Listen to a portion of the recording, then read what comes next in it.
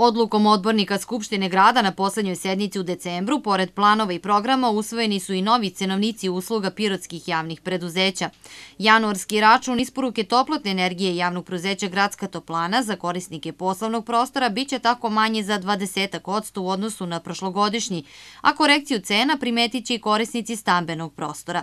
U pitanju je blaga korekcija cenovnika koja na godišnjem nivou neće imati veće negativne efekte po kućni budžet građana, izjavio između ostalo ostalog Bratislav Ćirić, direktor javnog prozeća Gradska toplana. Cena isporuke toplotne energije za korisnike koji koriste poslovne prostore biće značajno manja, nekih 20%. Ovaj, dok za ovaj, korisnike stambenog prostora koji koriste toplotnu energiju u stambenim prostorima cena će biti korigovana u smislu da se fiksni deo ovaj, naknade koji korisnici plaćaju u letnjim mesecima, znači šest meseci kada praktično nema grejenja, bit će značajno niži, dok će variabilni deo koji se plaća povrh ovog fiksnog dela u zimskim mesecima, odnosno to je ono što mi volimo da kažemo onoliko koliko smo potrošili, bili, biti za nijansu skuplji.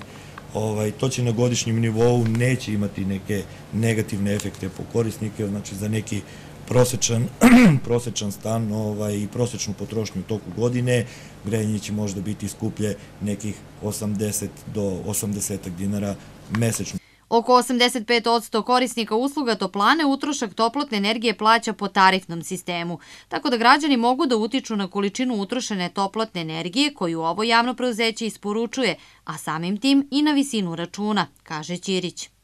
Ono što je bitno kod ove ovaj, korekcije cena, to je da će onaj deo na koji građani imaju uticaj biti veći, samim tim će njihov uticaj ovaj, biti veći na, na taj deo koji, koji će plaćati u zimskim mesecima.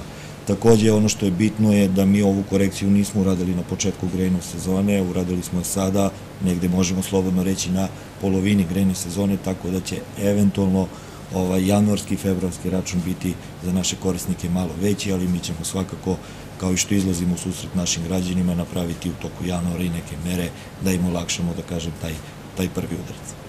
Inače i ove godine planom i programom rada Toplane predviđena su značajna investicijona ulaganja. Prvo je promena energenta, odnosno prelazak sa mazuta na korišćenje komprimovanog naftnog gasa.